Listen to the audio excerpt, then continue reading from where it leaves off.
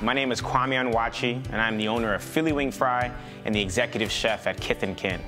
I'm a 2018 Star Chefs DC Rising Star.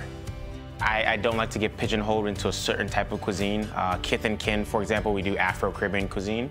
And at Philly Wing Fry, I do refined Philly cheesesteaks. So what I love about Kith and Kin is that it represents a group of people that pretty much go unnoticed in the culinary industry. It's really special to me to have this restaurant not only um, for my food memories, but for everyone else's food memories that now can celebrate their cuisine um, in a place like this.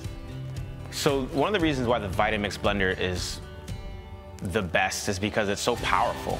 You know, we use the blender for a lot of different purees in the restaurant, and it helps get the purees really, really smooth a lot quicker than other commercial blenders.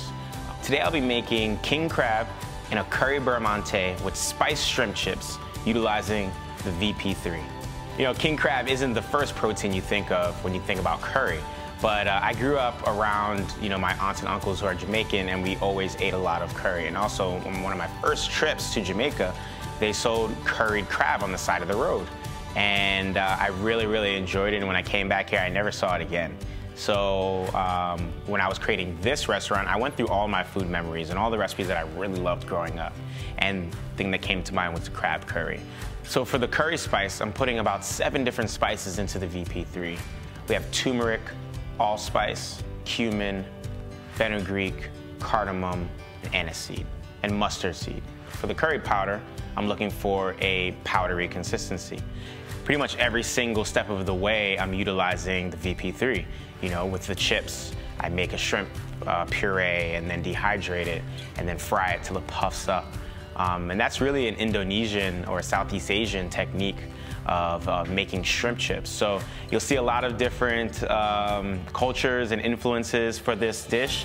So for the shrimp chips, I'm looking for an entirely different consistency than what I got for the curry powder. I'm looking for a paste-like consistency so I can spread it thin and then it can dehydrate into a thin tuile. So for the curry beurre monte, I'm adding a little bit of ginger garlic puree to the pan with some butter. I'm gonna cook that out until the ginger and garlic uh, raw flavor is, is gone. I'm also gonna add some curry powder to this and let that toast in the uh, ginger garlic puree again.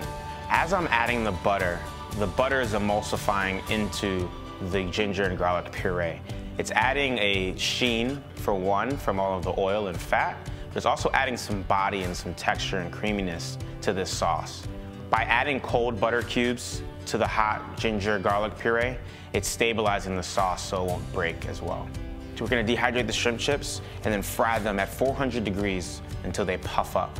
So the flavor profile of this dish is pretty much like warm and bright. You know, you have the warm toasted curry uh, flavor and very aromatic flavor from all those different spices. And then the finger lime really brightens it up. The shrimp chips add great texture and the king crab add briny notes. And here is the king crab in a curry beurre with spiced shrimp chips.